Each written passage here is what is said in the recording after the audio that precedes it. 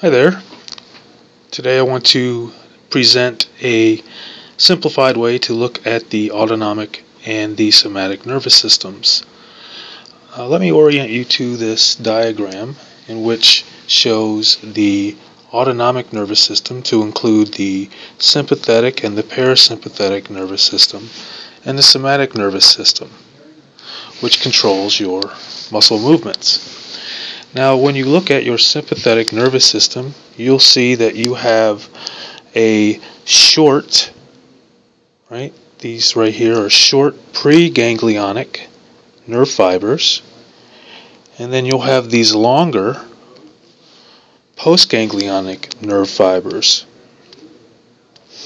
As well, one of these short preganglionic nerve fibers right here will innervate the adrenal medulla and that action will cause the adrenal medulla to release epi and norepinephrine. Then you have the parasympathetic nervous system that has this long preganglionic nerve fiber and this short postganglionic nerve fiber.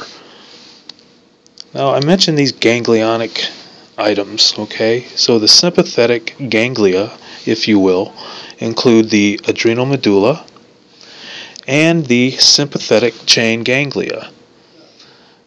And these are going to be along the spinal cord, uh, close to the spinal cord, if you will.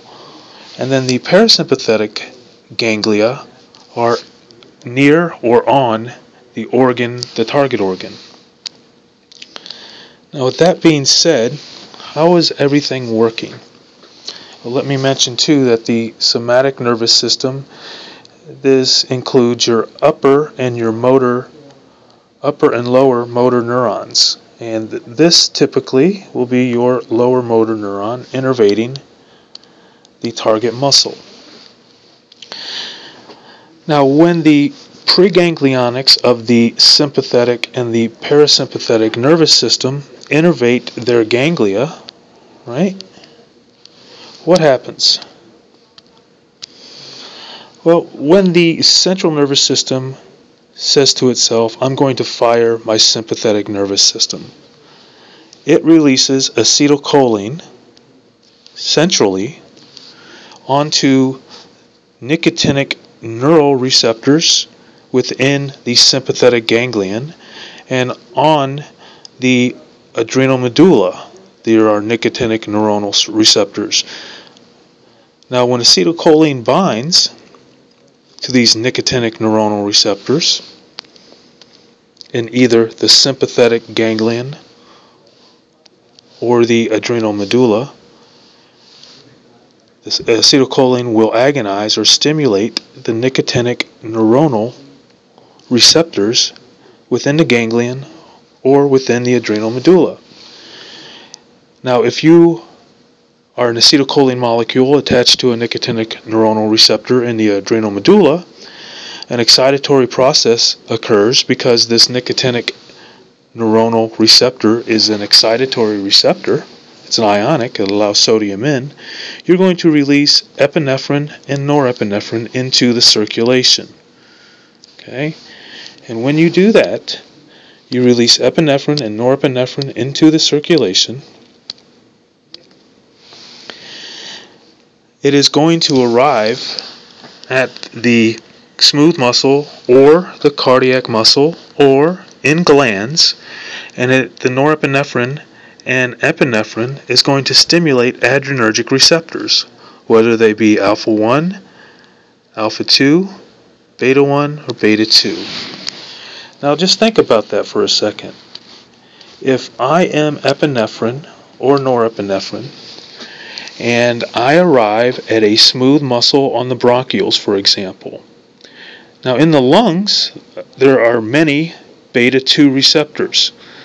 Well, norepinephrine doesn't really have an affinity for beta 2, but epinephrine does.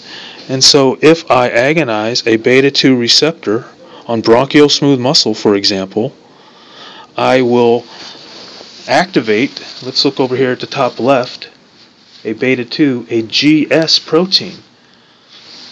Huh? Well, let me explain this. this receptor chart on your top left shows in purple what epinephrine and norepinephrine will stimulate, and in blue what acetylcholine will stimulate. Now, when you look at alpha 1, this is associated with a GQ protein. When you look at alpha 2, GI, beta 1, GS, beta 2, GS, muscarinic 1, GQ, muscarinic 2, GI, muscarinic 3 is a GQ, and then look at the nicotinic receptors. They're both ionic. That means when acetylcholine binds, it allows sodium in. So now when you look at this chart down here and you say to yourself, wow, norepinephrine or epinephrine, when released from the adrenal medulla into the circulation, will bind to alpha 1, alpha 2, beta 1, or beta 2 receptors. I got it. I got that part when it comes to the adrenal medulla. So the sympathetic nervous system will release acetylcholine in the adrenal medulla and cause the activation of nicotinic neuronal receptors and release epinephrine and norepinephrine into the circulation, which will then go and bind to either alpha 1, alpha 2, beta 1, or beta 2 receptors. And if I look at the top left up here, I can see exactly what G, G coupled proteins those are attached to. Got it. Now, if I'm a sympathetic preganglionic neuron and I innervate the sympathetic chain ganglia, I can release acetylcholine onto nicotinic neuronal receptors and then I can have my postganglionic neuron, which goes out to my target organs, will release norepinephrine onto the target organ. Now, in this case, norepinephrine doesn't really have an affinity for beta 2 receptors, so norepinephrine released from the sympathetic chain ganglia will activate alpha 1, alpha 2, or beta 1 receptors. Now, let's think about that in a couple ways. There's a lot of alpha 1 receptors on blood vessels. So if I release norepinephrine onto alpha 1 receptors in blood vessels, norepinephrine is going to stimulate those alpha 1 receptors that are attached to a GQ protein, and those vascular smooth muscle cells are going to contract. You'll get vasoconstriction. As well, it likes to activate beta 1 receptors. Well, we know that there's a lot of beta 1 receptors in the heart when I stimulate a beta 1 receptor in the heart, I will activate a GS protein, and in the heart, that is going to increase rate.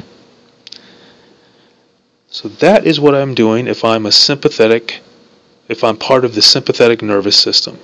As well, there's one more thing that uh, releasing acetylcholine into the sympathetic chain ganglion and activating nicotinic neuronal receptors will do.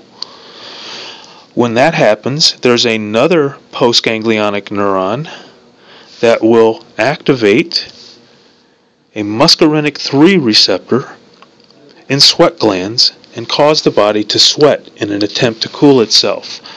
So this muscarinic 3 receptor in sweat glands is the only one that is part of the sympathetic nervous system. This is the only thing that is not norepinephrine or epinephrine when you leave the ganglion from the sympathetic nervous system. Now let's look at the parasympathetic nervous system. And you can think that these two systems are always battling each other. You know the sympathetic nervous system is your fight or flight, and you know your parasympathetic nervous system is your rest and digest nervous system. Well, we remember that the parasympathetic nervous system has this long preganglionic nerve fiber that will release acetylcholine into a parasympathetic ganglion that is on or near the target organ. And when that happens, the acetylcholine will bind to the nicotinic neuronal receptor and it will release acetylcholine onto the target organ. And in this case, acetylcholine will activate an M1, M2, or M3 receptor. Let me give you an example. M2 receptors are on the heart. When they're activated, we see in the top left in the blue box that M2 receptors are associated with a GI protein. That's inhibitory, so the heart rate will drop. Now let's finally look at what is not part of the autonomic nervous system, but the somatic nervous system. Acetylcholine in that instance is what causes your muscle to move when the lower motor neuron releases acetylcholine onto the smooth muscle or the skeletal muscle cell. It will activate a nicotinic muscle receptor, allow sodium in, and cause a depolarization. That depolarization will create a motor end plate potential and eventually cause a muscle contraction. If you have any questions, send me an email at armygas at gmail.com. Thanks.